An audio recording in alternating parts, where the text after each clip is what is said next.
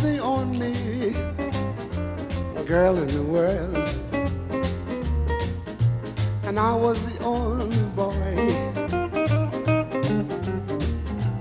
Nothing else would matter in the world today.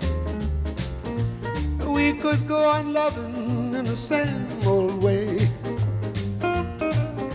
A garden of Eden just made for two nothing to mar our joy. Now I would say such wonderful things to you, baby.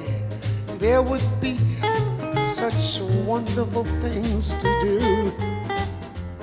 if you were the only girl in the world. Oh, baby, and I.